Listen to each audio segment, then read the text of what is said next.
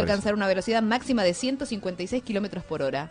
Lo cual está fantástico, Está porque la máxima bien, es sí. 130 en las Claro. autopistas en todo caso, ¿no? Ujú. Ya va a andar muy bien. Muy bien. Auto eléctrico. ¿Imaginaron alguna vez que íbamos a tener un auto eléctrico? De verdad, se lo digo cuando eran chicos. Nah, ni se pensaba. Yo me crié con el For, con el Ford Sierra y la Coupe Fuego, esa era la discusión a fines de los 80, comienzos de los 90. ¿No te acordás, Maurito, de eso? Todavía no, eras muy chico. Este, ¿Y cuál fue la discusión tuya? ¿Ya en el 95, 98? ¿Qué, qué había? ¿En el 2000? Hace 15 años, ¿qué, qué, qué, ¿cuál la, la- la pelea? Ay, a ver. Los modelos más tradicionales. ¿Qué estaba? El Gol. El Gol. Sí. El Golf eh, como auto chiquito. ¿Y qué le competía? El 147. El 147, tenés razón. No, y el Fiat Uno también. El Fiat Uno. Sí. O sea que era el 140, el, el Fiat Uno, el Gol y en. Pará, en. Para mí el Gol en El con familiar era la Renault 18 Break. La Renault 18 Break. Sí, tenés razón. Bueno, el Renault 12 es modelo, de, es la década del 90 y la década del 80, la década del 80, Mm. Renault 12 también. En Las Flores había un piloto, Jorge Emilio Serafini, y corría con el Renault 18. Y después con la Coupe Fuego. Que te- fue el primero en tener este el volante a la derecha. Hizo una experiencia, la que tuve en realidad era en el medio, una experiencia de testigo. Se pegaban cada paliza con el chango Ferna- eh, con el. Sí, el, eh, Fernandinho era, no, Fernández. El chango Fernández.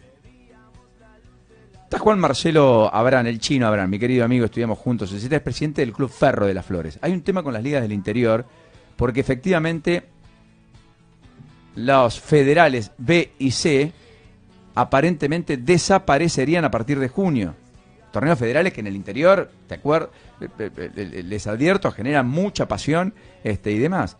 En los próximos días se anunciaría la B Nacional de 40 equipos, inclusive. Serían parte de toda la reestructuración que está hablando el Comité de Fútbol de la Asociación del Fútbol Argentino. En 2019 nacerá en su reemplazo, dicen, el Regional Federal, pero en los federales B y C, tal cual se conciben, aparentemente a mitad de año dejan de funcionar.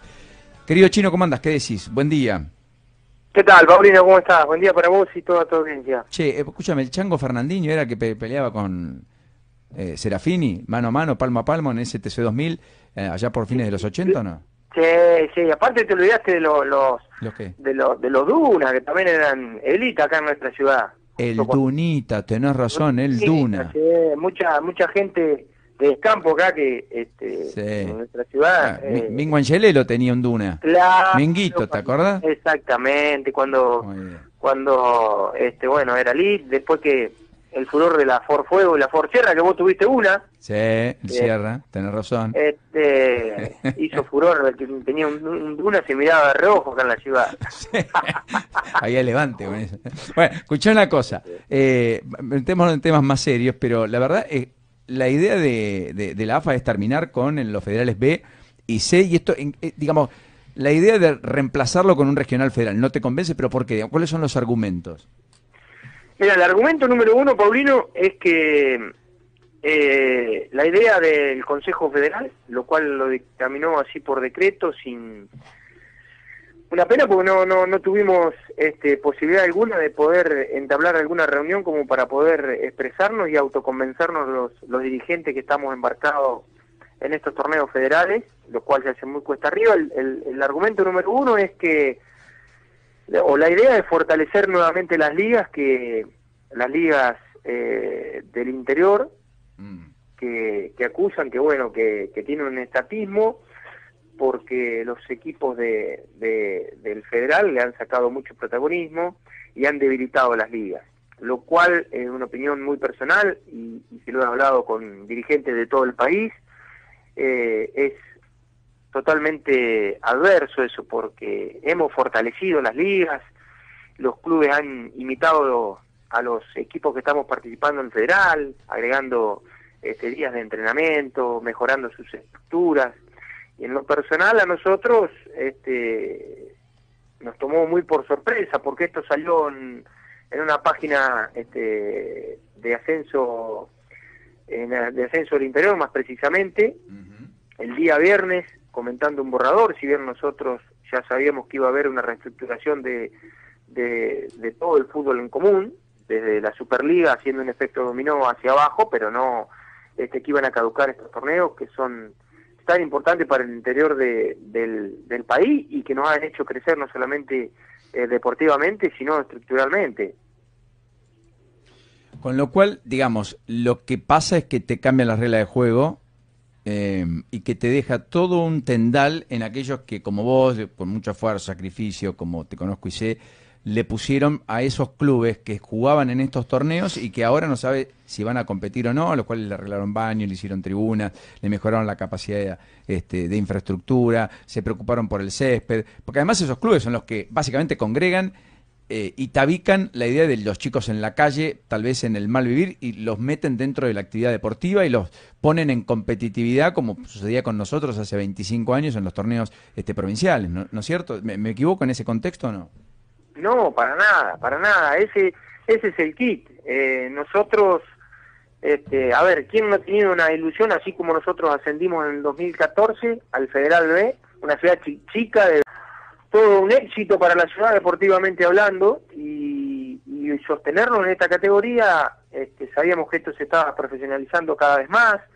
Este, nosotros ya habíamos visto el cuerpo técnico, habíamos traído este, jugadores de afuera, donde eso implica tener que dejarlos en la semana acá, este, eh, mejoramos nuestro estadio, le hemos, eh, hemos puesto luz eh, artificial para poder jugar de noche, una luz espléndida, hemos eh, aumentado la capacidad para los espectadores mediante tribuna, estamos realizando la tribuna para, para el visitante, el sembrado del campo de juego, pero a raíz de todo esto eh, hay detrás mucha gente como en nuestro club, en nuestra ciudad que trabaja muy, muy a pulmón, eh, y, y sin recibir nada a cambio, porque nosotros lo que hacemos meramente sentimental.